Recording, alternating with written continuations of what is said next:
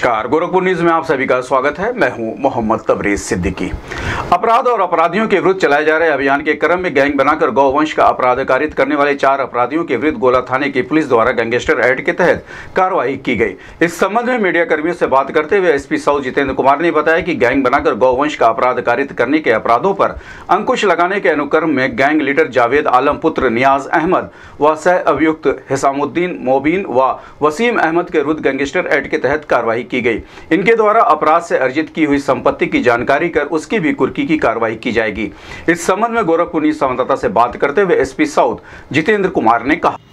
जनपद गोरखपुर में SSP sir के द्वारा अपराध और अपराधियों के विरुद्ध जो लगातार अभियान चलाया जा रहा है, उसी के क्रम में थाना गोला पर गैंगस्टर एक्ट के अंतर्गत अभियोग पंजीकृत किया गया है। इस गैंगस्टर एक्ट के सभी अभियुक्तों पर पूर्व में गोवंश की तस्करी के काफ़ी अभियोग पंजीकृत हैं। और नियमानुसार जिलाधिकारी महोदय के द्वारा गैंग चार्ट के अनुमोदन के उपरांत यह मुकदमा थाना गोला पर पंजीकृत किया गया है।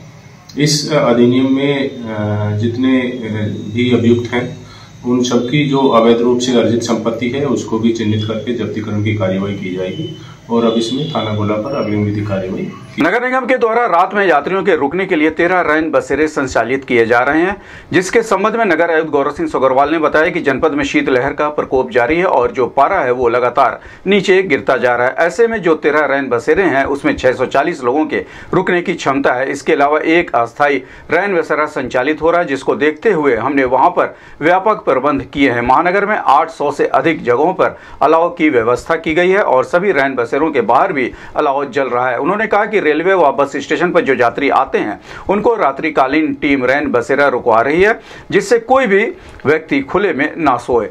नगर निगम के द्वारा रेलवे बस स्टेशन पर अस्थायी रैन बसेरा बनाया गया है। इस संबंध में गोरखपुर न्यूज़ से बात करते हुए नगर आयुक्त गौरव सिंह सोगरवाल ने कहा। देखिए सर्दी के शीतलहर के, शीतलहर का प्रकोप जारी है लगातार जो पारा है वो नीचे गिरता जा रहा है। तो ऐसे में हमारे जो रैन बसेरे हैं, लगभग तेरह रैन बसेरे हमारे हैं उनमें 640 से अधिक हमारी बेड क्षमता है और एक अस्थाई हमारा रैन बसेरा है। उन सब में व्यापक प्रबंध हमने सर्दी को रोकथाम के लिए किए हैं। अलाव की व्यवस्था भी 800 से अधिक जगहों पर हम कर रहे हैं। लगातार जहाँ जहाँ से डिमांड आ रही है, तुरंत वहाँ पे अलाव की व्यवस्था कराई जा रही है। ख़ास तौर पे उन जगहों पर जहाँ पे हमारे फ्लोटिंग पॉपुलेशन बहुत सारे हमारे यात्रीगण आते हैं, रेलवे स्टेशन पे, बस स्टैंड पे। वहाँ पर रात्रिकालीन हमारी नगर निगम की टीम के द्वारा उन सभी को रैन बसोरों, रैन बसेरे में भेजा जा रहा है ताकि ठंड से बचाव किया जा सके। इसके अलावा भी उन जगहों पर हमने अलाव की व्यवस्था कराई है जहाँ पर जो जगह अग्निवीर जो योजना है अग्निवीर योजना के अंतर्गत जो भर्ती चल रही है, उसमें भी हम अलाव की व्यवस्था करा रहे हैं। तो सर्दी के रोकने के लिए व्यापक प्रबंध नगर निगम के द्वारा किए जा रहे हैं। अस्थायी रैन बसेरा हमारा भी रेलवे बस स्टैंड जो है उसमें अस्थायी रैन बसेरा बनाया गया है। क्योंकि अभी हमारे पास पर्याप्त रैन बसेरों की क्षमता है जो हमारे स्थायी रैन बसेरे हैं। बीआरडी मेडिकल कॉलेज में भी हमारा रैन बसेरा है रेलवे स्टेशन के पास भी रैन बसेरा है और बस स्टैंड के पास भी रैन बसेरा है। जहाँ जहाँ आवश्यकता होगी, वहाँ पर भी हम कार्रवाई करें जनपद में पांडे हाथा के दुकानदारों ने रोड चौड़ीकरण के विरोध में अपनी दुकानों को बंद किया, जिसके संबंध में दुकानदार ललित कायल ने बताया कि हम सभी दुकानदार अपनी स्वेच्छा से अपनी दुकानों को बंद किए हैं। इसको शासन के द्वारा विरासत गलियारा बनाया जा रहा है, जिसमें साढ़े सोलह मीटर रोड को चौड़ा किया जा रहा है, जिसकी वजह से हमारी सभी दुकानें टूट जाएँगी।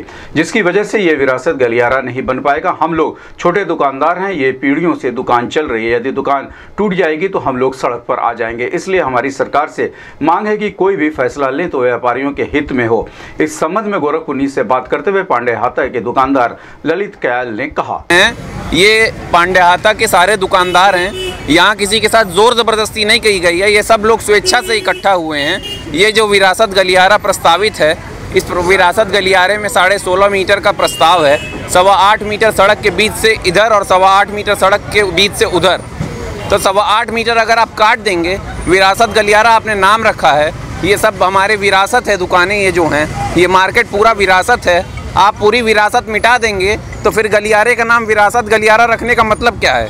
हम लोग छोटे छोटे दुकानदार हैं, सड़क पे अपना व्यवसाय करके अपना घर चलाते हैं, पीढ़ियों से ये दुकानें चली आ रही हैं, हमारे दादा, हमारे परदादा हमारे पिताजी ने मान लीजिए हमको दुकानों पर बैठाया सारे बच्चों को ये जितने लोग आप देख रहे हैं ये पीढ़ियों से इस दुकानों पर बैठ रहे हैं अगर आप इस तरह से सड़क काट के सबको मिटा देंगे साढ़े सौ सवा आठ मीटर का मतलब समझते हैं आठ फीट गहरी दुकानें नहीं हैं आठ मीटर आप काटना चाह रहे हैं। आठ मीटर काट के अगर आप पूरी मंडी को चौड़ा कर देंगे तो फिर मतलब क्या निकलेगा मार्केट का? आप कह रहे हैं नहीं नहीं आप कह रहे हैं कि हम मार्केट को बचाना चाह रहे हैं। हम पुरानी मार्केट को वापस से बसाना चाह रहे हैं। अरे भाई उजाड़ देंगे आप 400-500 दुकानें। ये जितने व्यापारी आप देख रहे हैं किसी के साथ कोई ज़ोर ज़बरदस्ती नहीं की गई है। सब अपनी स्वेच्छा से दुकानें बंद किया है। यहाँ पे जितना भी लोग मांग हमारी कुछ नहीं है। मांग हमारी बस इतनी है कि आप एक संगठित नहीं संगठित करिए मार्केट को। काटना नहीं है। सब अभिभावक हैं हमारे। महाराज जी हम लोग के पूज्य हैं। हम लोग किसी के विरोध में नहीं हैं। हम लोग अपना अपने आप को बचाने के लिए हमारी पीढ़ियाँ मिट जाएँगी यहाँ पर हमारा व्यापार मिट जाएगा। आप मुआवजा दे के हमको भेजेंगे कहाँ? हम जाके व्यापार क्या करेंगे? पचासों सालों से यहाँ हम लोग दुकानदारी करते आ रहे हैं। हम लोग बेचेंगे क्या? खाएँगे क्या? अपने घर को क्या खिलाएँगे?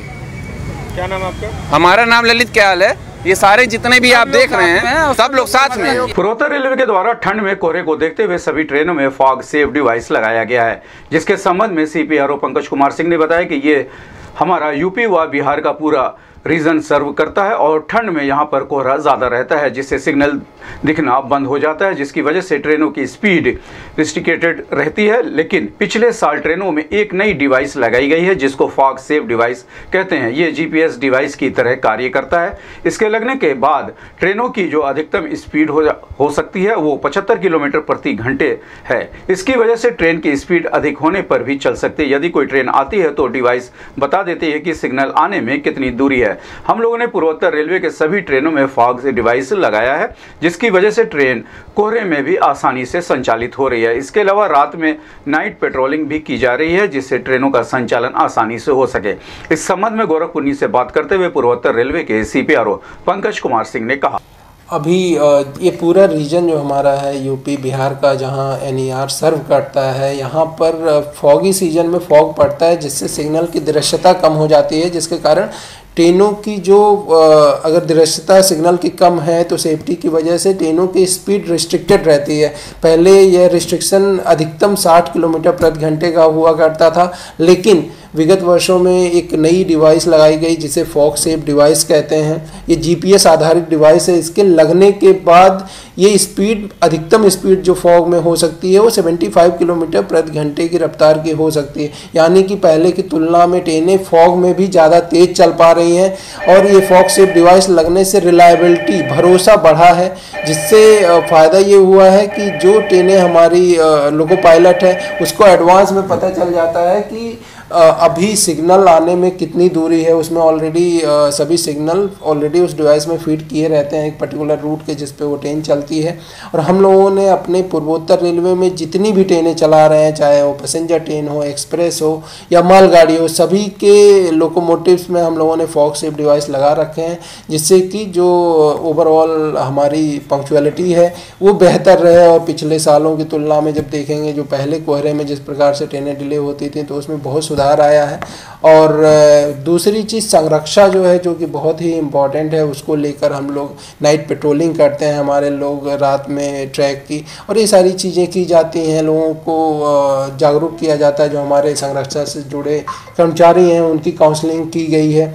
तो सभी जो भी संरक्षा और सुरक्षा को लेकर जो मानक है, उस पर कार्य कर रही है रेलवे, जिससे यात्रियों को संरक्षित एवं सुविधायुक्त यात्रा अपर आयुक्त प्रशासन कुमार बहादुर सिंह ने गन्ना किसानों के लिए होने वाले सम्मान के कार्यक्रम की तैयारियों को लेकर आयुक्त सभागार में संबंधित अधिकारियों के साथ बैठक की। इस दौरान अपर आयुक्त प्रशासन कुंवर बहादुर सिंह ने कहा कि इसमें उत्कृष्ट कार्य करने वाली चीनी मिलों, सहकारी गन्ना समितियों, महिला स्वयं सहायता समूह सहित युवा किसानों का सम्मान होना है, ये सरकार की तरफ़ से एक योजना चल रही है, जिसमें प्रथम, द्वितीय व तृतीय स्थान पाते हैं, उनको पुरस्कृत किया जाता है, जिसके अध्यक्ष जिला अधिकारी हैं।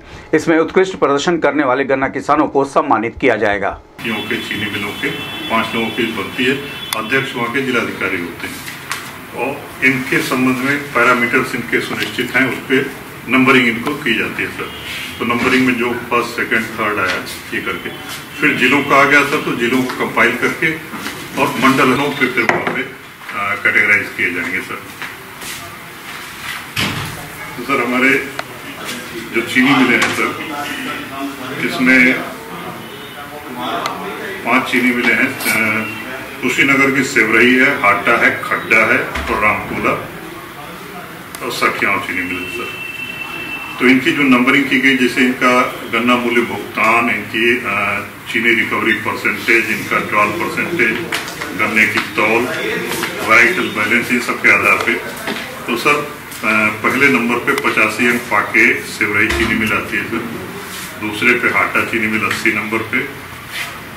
खड्डा को 70 मार्क्स मिलते हैं 60 तो अपर आयुक्त कुंवर बहादुर सिंह के अटल आवासीय विद्यालय को लेकर संबंधित अधिकारियों के साथ आयुक्त सभागार में बैठक की। इस दौरान अपर आयुक्त कुंवर बहादुर सिंह ने कहा कि अटल आवासीय विद्यालय के शासन से मॉनिटरिंग की जाती है, जिसमें गरीब बच्चों को आवासीय शिक्षा दी जा रही है। नए सत्र में बेहतर एडमिशन किया जाए। इसके लिए पूरे मंडल में व्यापक रूप से प्रचार प्रसार किया जाए, जिससे इसका लाभ गरीब बच्चों को मिल सके। गोरखपुर ज़िले के पिपराइज थाना की पुलिस टीम ने धोखाधड़ी करके रुपए हड़पने के आरोपी चिल बिलवा के घूस टोला निवासी किशोर कुमार यादव को गिरफ़्तार किया है।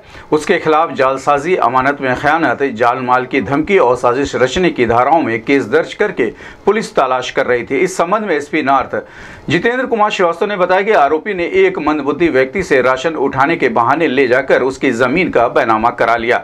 धोखाधड़ी की जानकारी होने पर पीड़ित परिवार ने जब आरोपी से रुपये मांगे तो उसने जान माल की धमकी दी। केस दर्ज करके आरोपी की तलाश की जा रही थी, जिसे गिरफ़्तार कर न्यायालय के समक्ष पेश किया गया, जहाँ से उसे जेल भेज दिया गया। इस संबंध में गोरखपुर संवाददाता से बात करते हुए एसपी नॉर्थ जितेंद्र कुमार श्रीवास्तव ने कहा। वरिष्ठ पुलिस अधीक्षक महोदय द्वारा धोखाधड़ी के अपराधों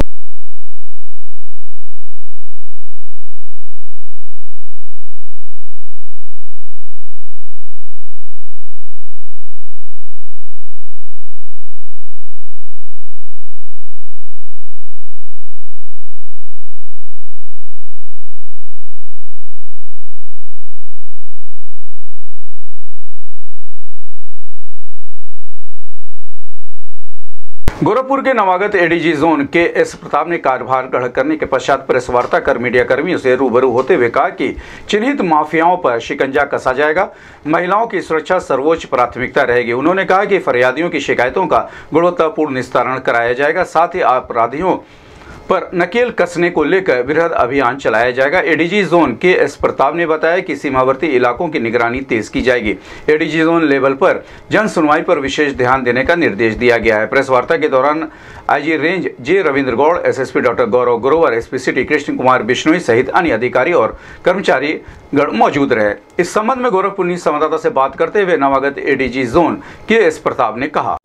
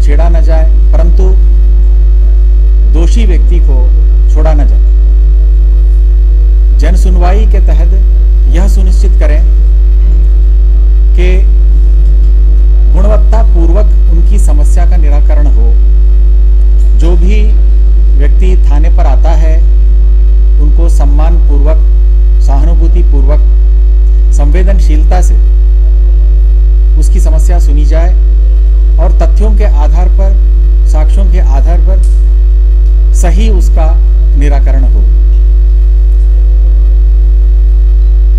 भ्रष्टाचार के खिलाफ ज़ीरो टॉलरेंस की पॉलिसी है। किसी भी प्रकार का इस तरह का कृत्य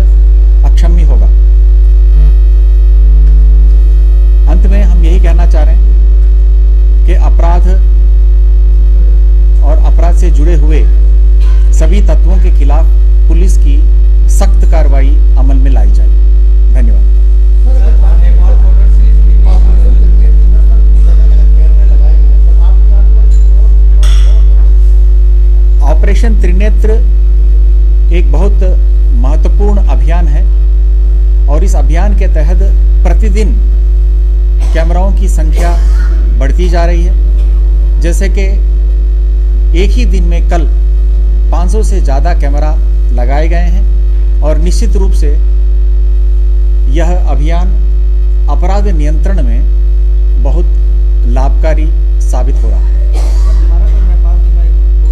भारत और नेपाल सीमा एक महत्वपूर्ण हमारा कार्यक्षेत्र का एक बिंदु है